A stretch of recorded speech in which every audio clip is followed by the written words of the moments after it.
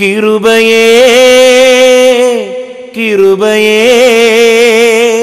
மாறாத நல்ல கிருபையே. உங்க கிருபைதான் என்னை தாங்குகின்றது. உங்க கிருபைதான் என்னை நடத்துகின்றது. உங்க கிருபைதான் என்னை தாங்குகின்றது. உங்க கிருபைதான் என்னை நடத்துகின்றது. ஆதியாகமோ முப்பத்தி ரெண்டாவது அதிகாரமும் முப்பத்தி மூன்றாவது அதிகாரத்தையும் வாசிக்கும் பொழுது அங்கே ஒரு நிகழ்ச்சியை பற்றி நம்மளால் கற்றுக்கொள்ள முடியும்.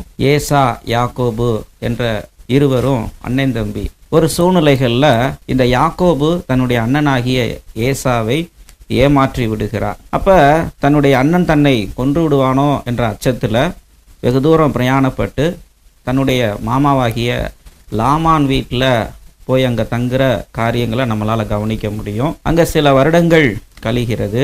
அங்கிருந்து கடவுள் உன்னை நான் எதற்கு அழைச்சேன் அப்படின்னு சொல்லிட்டு அனுப்புகிறார். ஒரு நல்ல ஒரு ஆசீர்வாதத்தோடு அந்த ஊரை விட்டு தன்னுடைய மாமாவை விட்டு புறப்பட்டு வெளியில் வரும்பொழுது தன்னுடைய அண்ணனோடு போய் இருக்கணும் அப்படின்னு சொல்லிட்டு அண்ணனை சந்திக்கிறதுக்கு வருகிறார்.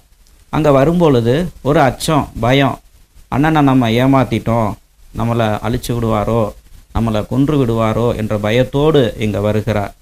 ஆனால் அண்ணனை வந்து சந்திக்கும் பொழுது தன்னுடைய தவறுகளை உணர்ந்து மனம் திரும்பி மன்னிப்பு கேட்குற ஒரு காரியங்களை நம்ம கவனிக்க முடியும். அண்ணனாகிய ஏசாவும் தன்னுடைய தம்பியாகிய யாக்கோபை முழு மனதோடு மன்னிக்கிற அந்த நிகழ்ச்சியையும் நம்மளால் கற்றுக்கொள்ள முடியும். இருவரும் இணைஞ்சு மகிழ்ச்சியாக சந்தோஷமாக இருக்கிறாங்க. இங்கே ஒரு தெய்வீக குணத்தை ஒருத்தருக்கு ஒருத்தர் மன்னிச்சு ஒருத்தர் ஒருத்தர் ஏற்றுக்கொண்டு கடவுளுடைய அன்பை வெளிப்படுத்தக்கூடிய அந்த சூழ்நிலைகளை நம்மளால் இதில் கற்றுக்கொள்ள முடியும். கடவுளுக்கு பிரியமானவர்களே நாமளும் இந்த தெய்வீக அன்பை வெளிப்படுத்துவோம். கடவுள் தாமே நம் யாவரையும் ஆசிர்வதிப்பாராக. நீங்கள் ரட்சிக்கப்பட வேண்டும் என்பது தேவனுடைய சித்தமாயிருக்கிறது.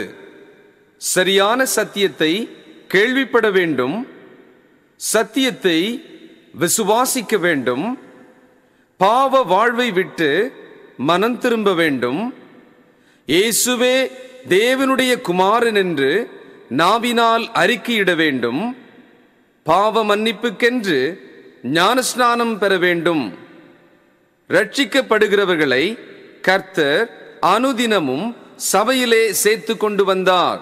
அன்பு நேர்களே நீங்கள் மதுரையில் இருப்பவர்களானார் எங்களுடன் சபையில் சேர்ந்து ஆராதிக்க உங்களை அன்புடன் அழைக்கின்றோம். எங்களுடைய சபை ஆராதனை நேரங்கள் ஞாயிறு காலை ஒன்பது முப்பது மணிக்கும் மாலை ஆறு முப்பது மணிக்கும் மற்றும் வேத ஆராய்ச்சி புதன் மாலை ஆறு முப்பது மணிக்கும் நடைபெறுகிறது. நடைபெறும் இடம் ஏஜிபி ஹால் நாற்பத்தி ஐந்து சி பார் ஒன் காரனேஷன் தெரு அரசரடி மதுரை பதினாறு. சபையில் கலந்து கொண்டு இறையாசி பெற்றுக்கொள்ள உங்கள் அனைவரையும் அன்புடன் அழைக்கின்றோம். தொடர்புக்கு ஒன்பது இரண்டு நான்கு நான்கு இரண்டு ஒன்று நான்கு நான்கு இரண்டு ஒன்று மற்றும் ஒன்பது இரண்டு நான்கு நான்கு மூன்று ஒன்று நான்கு நான்கு மூன்று ஒன்று. கிருபையுள்ள வார்த்தை தபால் பெட்டி எண் பதினைந்து அரசரடி மதுரை ஆறு இரண்டு ஐந்து பூஜ்ஜியம் ஒன்று ஆறு.